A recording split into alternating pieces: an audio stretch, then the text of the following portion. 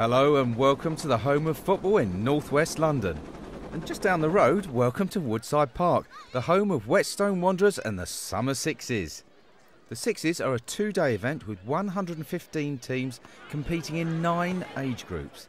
So, in total, that's 320 six minute matches, all with qualified referees and organised entirely by a great team of volunteers. This is grassroots football at its best.